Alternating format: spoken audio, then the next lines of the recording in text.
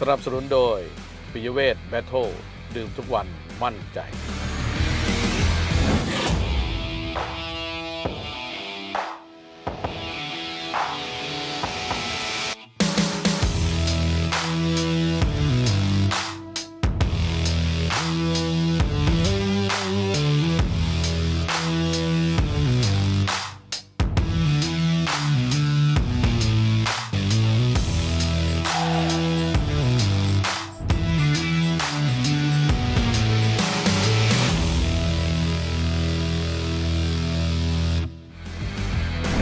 นับสนุนโดยเหนือกว่าฟิล์มเซรามิกที่เคยมีต้องฟิล์ม Super High Cool Beyond Ceramic ส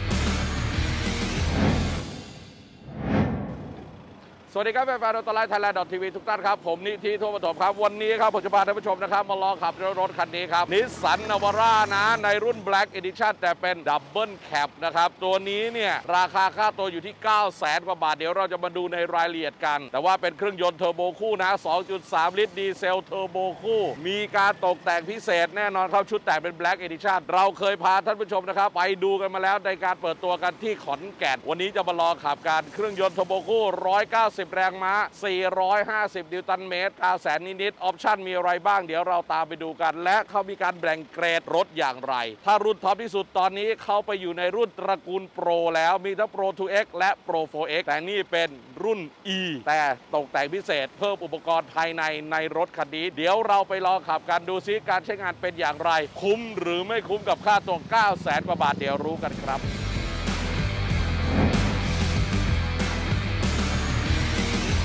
ครับแล้วตอนนี้นะครับเราก็อยู่ในเจ้านิสสันนวาร่านะครับ King Cap รุ่น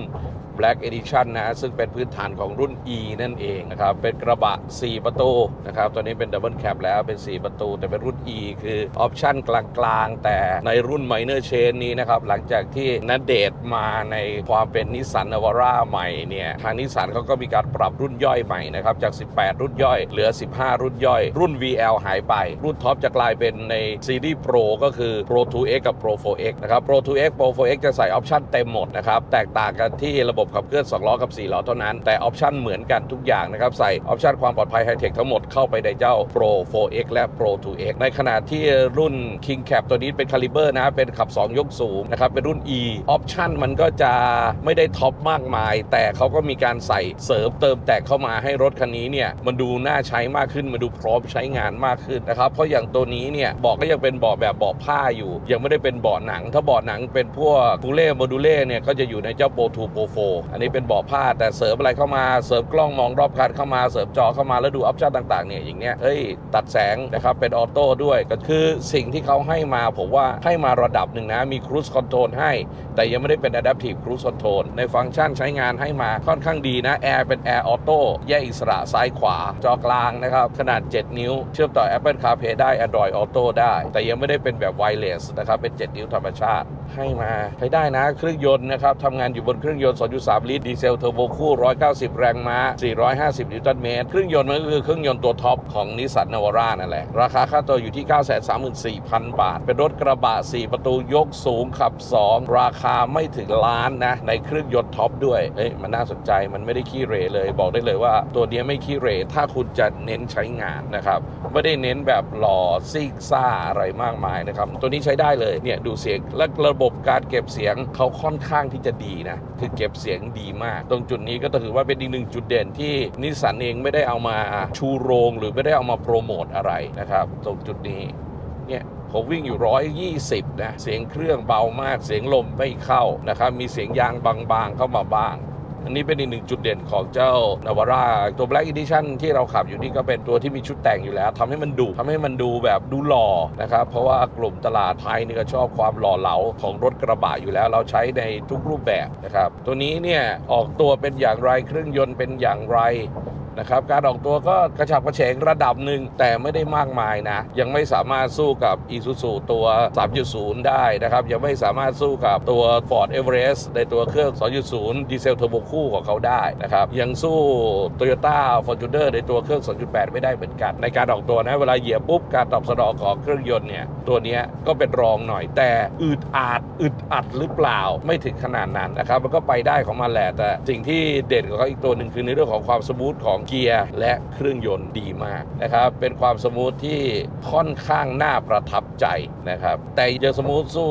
Ford Ranger w i t e Track ไม่ได้นะ อันนั้นโคตร smooth พวงมาลัยไม่ได้หุ้ม PVC หนังมาให้นะครับเป็นยูรีเทน อันนี้ก็จะแข็งมือหน่อย ขับนานๆอาจจะมีเมื่อยๆนิดนึงนะแต่ผมไม่ชอบ handling เขาเท่าไหร่นะครับ ไปชอบเฮดเดอร์ลิงของโปร2กับโปร4เองมากกว่านะครับ เพราะเฮดเดอร์ลิงเนี่ยมันงอมแงมงอมแงมไม่ค่อยแม่นเท่าไหร่ แต่ต้องรอบรรทุกหน่อยนะครับ เพราะตัวเขาครั้งนี้เนี่ยเรามีแค่ 2 ท่านมีพี่เอจากประกอบกับตัวสลอดดั้งมาด้วย แล้วก็มีผมเป็นผู้ขับนะครับน้ำหนักบรรทุกมันไม่ได้เยอะ มันก็เลยแบบไม่ค่อยมันไม่ค่อยมั่นคงเท่าไหร่ในส่วนของพวงมาลัยนะแต่เครื่องยนต์เนี่ยดีเนี่ยคุณสามารถเปลี่ยนเป็นแมนนวลได้ด้วยนะพอกระชากมาก็กระฉับกระเฉงแหละนะครับแต่ก็แล้วแต่การใช้งานพอมีเกียร์แมนนวลมาให้ด้วย มันก็หมายถึงว่าคุณขึ้นเขาลงห้วยสบายๆเนี่ยวิ่งอยู่ 120 ก็เนียนๆนะ แต่มันก็มียุบยับยุบยับหน่อยในส่วนของพวงมาลัยนะครับแล้วเวลามันโยกไม่ค่อยลงตัวเท่าไหร่เพราะแน่นอนความเป็นคาลิเบอร์ยกสูงอยู่แล้วนะครับเวลาโยกมันจะโยนทั้งคัน ตรงจุดนี้ก็ต้องถ้าคุณขับเร็วๆอยู่แล้วคุณก็อย่าโยกกับมันนะฮะ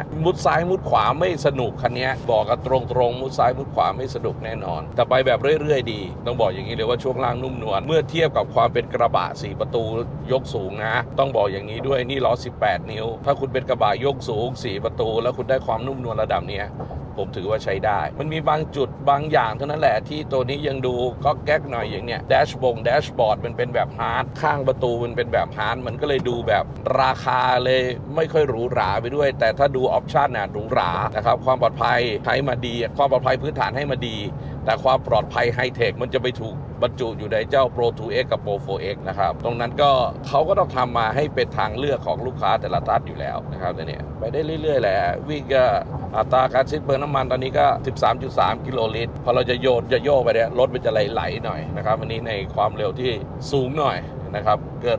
120 มีน้ำหนักบรรทุกหน่อยอะดี นะครับแต่นี่ก็ขับสบายนะขับต่างจังหวัดสบายนะคันนี้เครื่องดีเลยล่ะนะครับเครื่องไม่ด้อยกว่าใคร อันนี้ถือว่าผ่านในส่วนของเครื่องยนต์ผ่านแน่นอน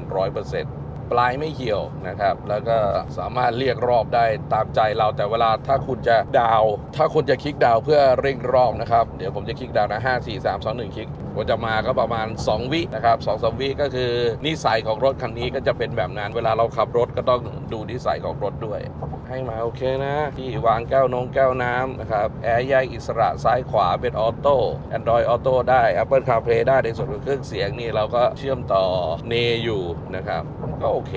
มีเตือนรอบคันด้วยนะครับ MOD ระบบนี้มาผมว่ามันให้มาดีอะนิสสันเขาก็ต้องปรับตัวค่อนข้างเยอะนะครับในการแข่งขันของเขานะครับใส่ option เข้ามาแบบนี้เฮ้ยมันดูคุ้มค่าเลยอะรถคันนี้มันดูคุ้มค่าเลยกับราคาที่9 3 0 0 0อะแล้วถ้าตัว King Cab เนี่ยเขามีรุ่น V ด้วยนะ ตัวตอนครึ่งเนี่ยนะครับประตูตู้กับข้าวเนี่ยเขามีรุ่น V ที่ใส่ option ความปลอดภัยไฮเทคเท่ากับตัว Pro 4X เลยนะโอ้ มันมีลูกเล่นนี่เยอะดีเว้ยตัวนั้นเนี่ยคือเน้นใช้งานด้วยนะครับเน้นบรรทุกด้วย แล้วก็เน้นความสะดวกสบายกับความปลอดภัยไฮเทคด้วย เจ้าตัว King Cab ตัว V นะครับ7 Auto ไอ้ตัวนั้นอยากเอามาลองขับเลยว่าพอขับแล้วเนี่ย การใช้งานเป็นอย่างไร แต่ตรงนั้นต้องมาขับแบบขนของไปบริจาคดีกว่า จะได้น้ำหนักบรรทุกด้วย มันจะได้ในเรื่องของการใช้งานของรถในกลุ่มนั้นด้วยนะครับใช้ได้อยู่แล้วเฮ้ยนิสสันก็ก็ปรับตัวมาดีนะครับแต่หน้าตาแล้วแต่ความชอบแล้วแหละแต่ผมชอบไฟหน้าแบบ Quad LED เขานะมันสวยไฟหน้าเขาโดนใจโดนใจแล้วก็ไปสัตหีบเขาวิ่งยาวๆนะครับเราจะไปสรุปกันที่นั่นนะครับ ว่ารถคันนี้เนี่ยเป็นอย่างไรพร้อมกับพาชมแบบคร่าวๆด้วยนะครับว่านั่งหน้านั่งหลัง option รอบคันเป็นอย่างไร และนี่คือการลองขับเล็กๆ น้อยๆ ครับ กับเจ้า Nissan Navara นะครับ ในรุ่น Double Cab นะ เป็นรุ่น E Black Edition ด้วยตอนนี้รุ่น E เนี่ยเขาแต่ง Black Edition มาหมดละนะครับ เพราะว่าเขาต้องปรับบุคลิกของตัวเอง ต้องปรับ position ของรถของเขาให้มันดูดีมากขึ้นให้มันดูคุ้มค่ามาก เดี๋ยวเราไปสรุปกันว่าขับแล้วเป็นอย่างไร นิสัยเป็นอย่างไรเหมาะกับใครความคุ้มค่าที่ 934,000 บาทเนี่ยใช่หรือไม่ใช่ และเมื่อเทียบกับคู่แข่งของเขาแล้วเนี่ย เจ้า Nissan Navara Black Edition ในในรุ่น Double Cab ขับเคลื่อน2ล้อยกสูง ตัวนี้นี่น่าใช้หรือไม่น่าใช้อย่างไร เดี๋ยวเราไปสรุปกันที่สัตหีบครับผม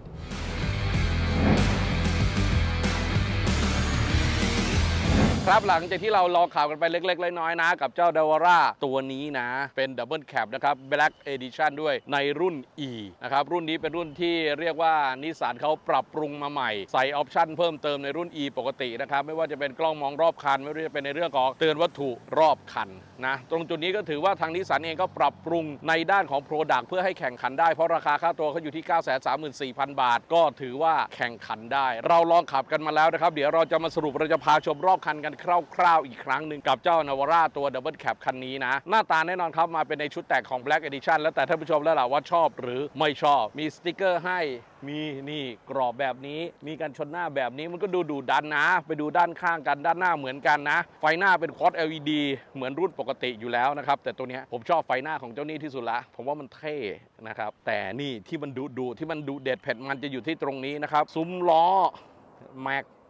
ยางมาเต็มนะ บอกมาว่าเต็มความเป็น Black Edition จริง ๆ คือดำจริง ๆ สวย ๆ นะครับนี่กระจกมองข้าง เป็นสีดำมีไฟเลี้ยวให้ มีกล้องรอบคันให้นะครับ อย่างที่เราบอกนะครับว่าเป็นออปชันที่ดีมาก ๆ แต่ไม่มี blind spot ถ้า blind spot ถ้าเตือนการชนด้านหน้าเบรกอัตโนมัติด้านหน้า จะยกไปในรุ่นของ Pro ทั้ง Pro 2X แล้วก็ Pro 4X นะครับถ้านี่เป็น 4 ประตูแบบ option พอประมาณราคาพอตัวชายบันไดสีดำแบบนี้ แต่น่าเสียดายนะไม่มีราวหลังคานะครับน่าจะมีราวหลังคาให้ตัวนี้จะสมบูรณ์แบบถ้านี่เป็น 4 ประตูแบบ option พอประมาณราคาพอตัวชายบันไดสีดำแบบนี้ แต่น่าเสียดายนะไม่มีราวหลังคานะครับน่าจะมีราวหลังคามาให้ตัวนี้จะสมบูรณ์แบบมากขึ้นนะเนี่ยเนี่ยชุดแต่งมันสีดำหมดมีสติกเกอร์ ตัดมาให้คุณนะครับมือจับเป็นสีดำนะครับนี่ซุ้มล้อพวกนี้มาแต่งมาจากโรงงานทั้งสิ้นนะครับท่านผู้ชม ไม่มีปัญหาในเรื่องของความคงทนอยู่แล้วดู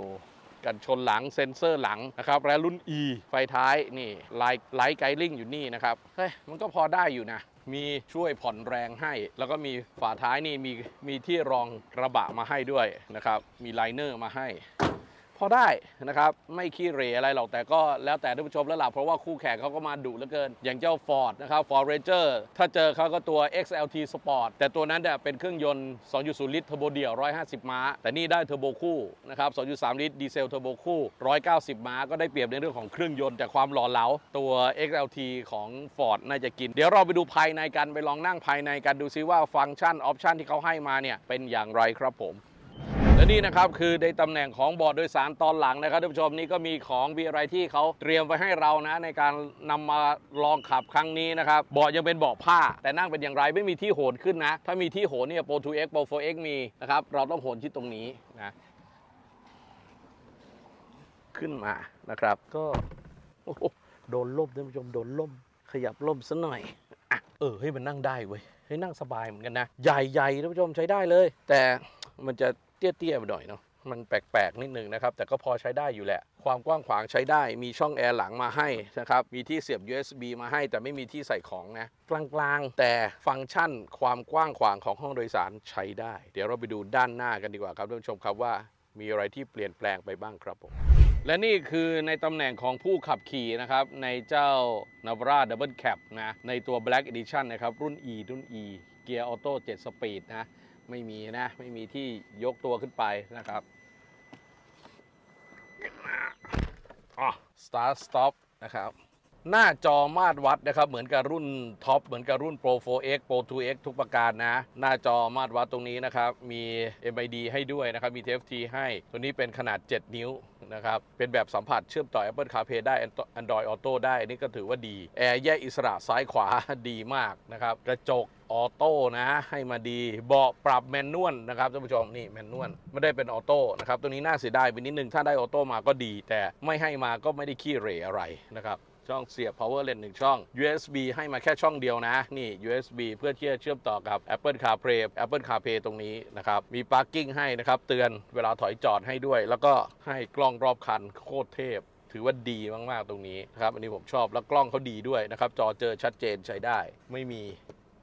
ไม่มีกระจกให้นะครับ แต่ตรงนี้มีที่ใส่แว่นตาให้พวงมาลัยปรับระดับได้แค่บนล่างนะครับ นี่แค่นี้ เข้าออกไม่ได้ เป็นมีครู i คอนโทรลให้แต่ไม่ได้มี Adaptive Cruise Control ให้ ระบบความปลอดภัยไฮเทคไม่ได้มีให้นะเตือนกันชนด้านหน้าไม่ได้มีให้เบรกอัตโนมัติด้านหน้าไม่มีให้ Blind Spot ไม่มีให้นะครับตรงจุดนี้ต้องขยับไปที่ตัว Pro 4X หรือ Pro 2X ตัวนั้นนะให้มาครบ มีที่วางแก้วน้ำสองแก้วเบรกมือเป็นแบบ manual นะครับแต่กระจกเป็นไฟฟ้า 4 บาน แต่ auto แค่บานคนขับบานเดียวนะครับนี่เป็น auto แค่บานคนขับบานเดียวเท่านั้น และนี่คือภายในคร่าวๆนะครับของเจ้านิสสันนาวร่านะในรุ่น Double Cap นะครับ Black Edition รุ่น E ด้วยปะเดี๋ยวเราไปสรุปกันดีกว่าว่า หลังจากที่ผมลองขับแล้วเจ้าคันนี้เป็นอย่างไรครับ